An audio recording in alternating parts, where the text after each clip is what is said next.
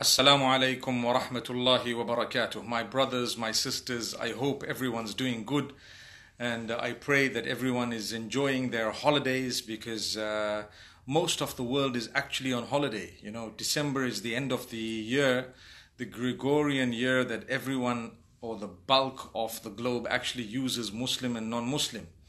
The school terms are connected as well to December in a lot of cases, their holidays people work during this time of, uh, meaning according to the calendar, and they are off usually towards the end of December. And at the same time, we have the Christmas that happens on the 25th of December, the Boxing Day on the 26th, and the New Year on the 1st of January. So uh, I am going to share with you something that many people have asked me. You know, we have so many people who have uh, family members who are not Muslim. And in some cases, you have a single person who is a Muslim in an entire family. And sometimes they're very close knit with their siblings, their parents. Obviously, they should be. So they begin to ask questions, the do's and the don'ts, you know. It's the end of the year. It's the only time we're going to get to meet our family. But it happens to be Christmas. It happens to be, for example, the New Year it happens to be anything else that the people may believe in, and it happens to be a holiday as well. And so, what should we do? Because out of a thousand emails, or maybe even more, I want to share with you one that actually stood out a lot for me. A sister tells me from one of the advanced countries, she says, You know, we grew up siblings very close, my parents and my sisters, my brothers, we were very, very close to each other. And we actually uh, loved each other so much, and we still love each other. And as time progressed, we went to different parts of the country. Some left the country and went out of the country. And uh, as time passed, Allah subhanahu wa ta'ala chose to guide me to Islam, and I became a Muslimah. And uh, now, what has happened is, I work and I, I work very hard through the year. I don't get any leave that is meaningful enough for me to go back to the town where my parents are. And uh, the same applies to my siblings. They work hard. The main holidays that they get at the end of the year. So what happens is we gather uh, at the house of my parents where we grew up and my parents really love all of us. They don't have a problem with me being muslim. They don't have a problem with the faith that we've chosen. They cater for halal food for me. They actually uh, you know do not serve alcohol when i'm around and so on. But uh, primarily all of us happen as brothers and sisters to get together only at the end of the year with our parents. Now, am I allowed as a Muslim to participate in that, knowing that the following day is Christmas, or it is Christmas Day, or for example, uh, it's in that festive season, or it's the New Year Eve, or it is the New Year? Now, uh, this sister was saying that some of the scholars said it's not allowed, you shouldn't be going. And I thought to myself, you know, they are responding based on their environment and their own situation, and they are not being sensitive to the reality. They're not being realistic, and at the same time, they don't understand, they haven't looked into what has just happened. And this is the case with hundreds, if not thousands, or maybe even millions of people who have relatives who are not Muslim. And sometimes they're your own parents and you love them and they love you and they don't have a problem with you. And they're really, you know, kind and they, they, uh, they reach out to you. And the only time you're going to get is actually at the time of Christmas. So if you are going there, there is no harm whatsoever. It's not a problem. Your intention is clear. You're going there to spend time with the rest of your family who happens to be non Muslim. You're going to uh, dress appropriately. You're not going to eat that which is forbidden. In fact, they, according to this one uh, question, they cater for halal. They make sure everyone eats only that which is halal, and they actually do not serve that alcohol there. So it's something where they're catering for you. They they allow you your space, and uh, those are your siblings. It could be your family. Uh, it is in this case. So, would you be allowed to go? The answer is yes, you would. Your intention needs to be clear. You don't compromise uh, what you firmly believe, and you don't want them to compromise what they believe. Because obviously, the same way you have a right, they have a right. And so, uh, we don't trample on each other's toes, but you will be there. You will participate in the joyous moment of the get together that's happening because it's convenient at this time and the intentions are of utmost importance. Now, a lot of people don't understand this, and this is why I say sometimes we ask scholars who've never been interacting with non Muslims or people who have family members who are not Muslims, they've never interacted with such uh, families and they don't understand. They they answer you based on their environment. They answer you based on a muslim environment sometimes. They answer you without realizing that this does happen. And they answer you thinking or for some strange reason that you're not supposed to even be interacting. Yet, subhanAllah, there are rulings that would allow you to marry a person of the book under certain circumstances, and that is referring to the Jews and the Christians. So it goes to show that relationships are definitely permissible, but obviously without compromising. Uh, what you believe, and the same way they wouldn't compromise what they believe. I wouldn't like to shove down the throat of another uh, something that they would not consume. And I would love that they respected the same right of mine. So, mashallah, in a lot of these cases, you find they have fulfilled our rights in a better way than Muslims would. In a lot of these cases, they fulfill our rights in a better way than Muslims would. And then we say, don't mix with them, don't talk to them, don't go there. I mean, come on, that's my mother, that's my father. The same happens when they pass away. Are you allowed to go? Are you allowed to? You should go. You should go and express your condolences and sympathies, and you should even help if need be.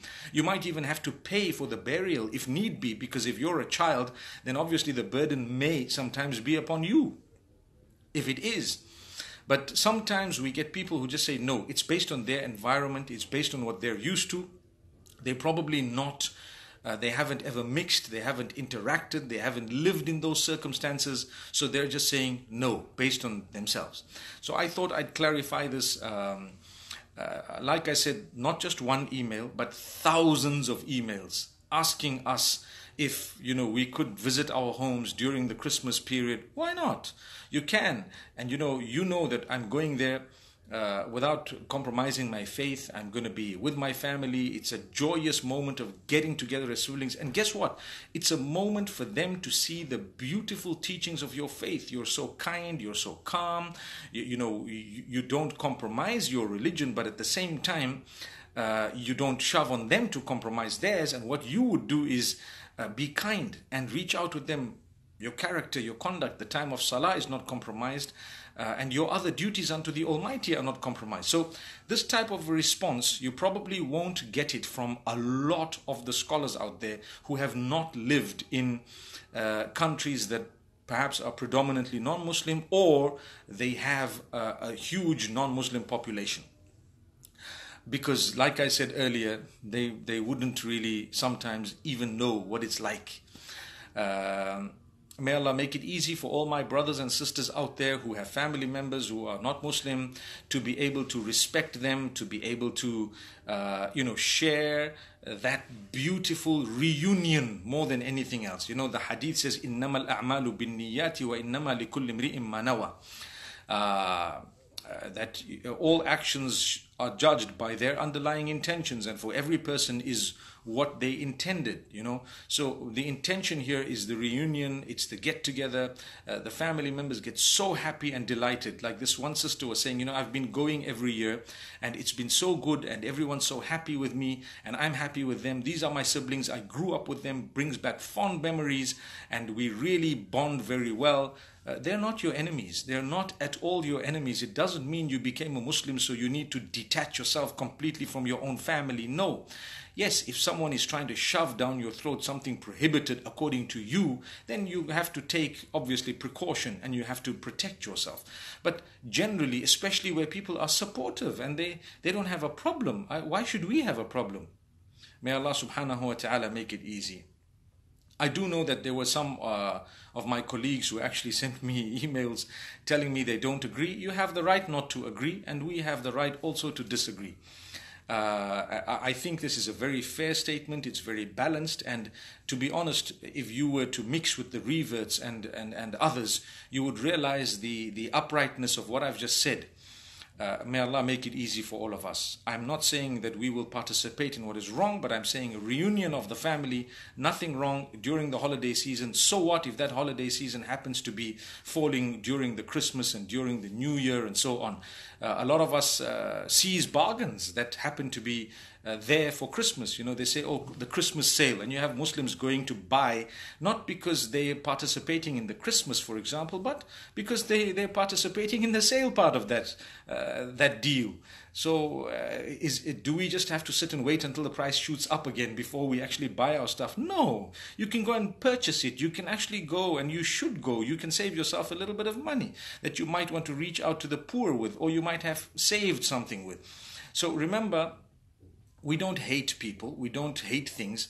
Uh, we actually may disagree with respect on certain matters, just like they would disagree with us on certain matters. We'd love that they be respectful in their disagreement. This is something very balanced. I pray, my brothers and sisters, that we don't misunderstand what has been said, and I pray that we can spread this far and wide, inshallah. I'm going to be posting this up on YouTube, and we'll give it a good title by the will of Allah subhanahu wa ta'ala any reverts out there, inshallah, you can uh, leave us comments to tell us how you've managed, uh, inshallah, with this. And those of you who don't have family who are reverts, I'm sure you sometimes you may not understand what we've just said, subhanallah. But uh, I know that a lot of you guys would actually go out on the holidays that happen to be during this time of the year. So don't you dare come and tell me that you haven't made use of the festive season. Oh, you have. Uh, may Allah subhanahu wa ta'ala forgive us and make us all from among those who uh, do not compromise our prayers and our uh, modest dress, and at the same time, I, am talking of the dress code and the, the, the diet restrictions.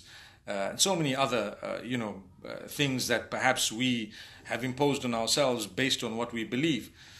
May Allah subhanahu wa ta'ala help us not to impose that on others who don't believe. They believe differently someone was asking me, you know, uh, I have a non-Muslim friend who is a lady, uh, you know, and she has to travel. Uh, must she travel with a mahram? You know, should I should we impose on her to travel with a mahram? And I'm like, you know, you cannot impose on her to to follow your faith. She doesn't follow your faith. Uh, the halal food, she doesn't have to eat halal. She doesn't have to. Um, she doesn't have to pray with you. She doesn't have to uh, you know, dress according to you.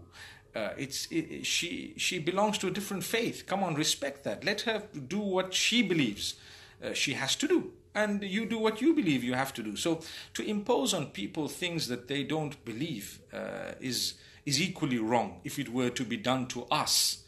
Uh, and here we're talking of Subhanallah. You know, the majority of us uh, we have a lot of acquaintances, friends uh, partners, uh, even family members who happen to be non Muslim.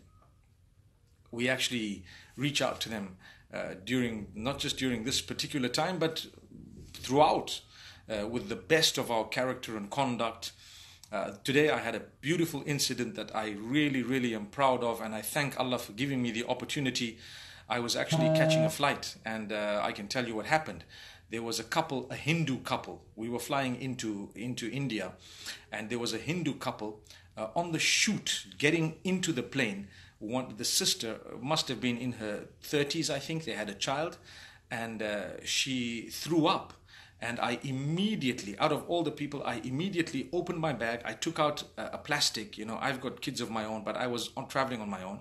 I took out a plastic and I, I quickly gave it to her, and I told her, you know, she knew what to do with it, so she started, uh, uh, you know, throwing up into the bag. And I waited for a moment. I took out the Dettol wipes that I had in my bag as well, and and and I gave it to her husband, and I told them, you know, to make use of it. And I waited for a moment. And why I waited was, I told them after she had finished and all that, I said, Look, you guys, get up. I'm a frequent flyer. I can tell you that if these people in the plane uh, see that you're sick, they will offload you from the flight because you become a liability. And I think the rules in, uh, are that uh, they have to offload you if you're not well. So if you don't say anything and you just get in, then at least you'd be able to fly because it's a very short flight. So uh, they were. I, I, said, "Give me this bag," and they were quite surprised because the bag was filled with you know what. So I got the bag from the lady and they were just looking. They didn't know who I was. I did not know who they were, but I knew they were Hindu. They knew I was Muslim. And so what I did is I I then let them go in front of me and when they got in, then I put my boarding pass, you know, forward, and I told them, okay, I, this is me, and so on. And I tried to uh, make sure that they were gone in. And then I went in with this bag filled with, you, you know what, and I took it to the bathroom in the section I was, and I threw it in, washed my hands, and I got back, and I thanked Allah for giving me an opportunity to serve a brother and a sister and their child of mine in humanity uh, when they were in need. So, this is how we reach out to people whom we may not share the same faith with. And this is what is meant by living in you know multicultural environments multi-religious environments whereby you serve one another for for a uh, in fact for the sake of your maker your common maker. And uh, for the goodness uh, I, am very happy that Allah gave me the chance to do that, and I'm sure a lot of people who were on the chute, and they, a lot of them looked like non-Muslim, perhaps predominantly Hindu. Uh, I'm sure they would all have learned a lesson to say, whoever this guy was, and they probably they wouldn't have known who I was, by the way. Whoever this guy was, he was a Muslim. He was dressed in pure white, and he's the only guy who actually helped a lady who was throwing up by giving her something, waiting for it to happen, helping her by taking that bag away and helping her onto the plane. I'm not bragging about it, but I'm telling you part of what we do because people accuse us of being, uh, you know, uh, uh, whatever, hate preachers, of being people who don't uh, promote multicultural coexistence and tolerance. They don't know what they're talking about. What we do in our lives, if they had to know, they have not even done 10% of it.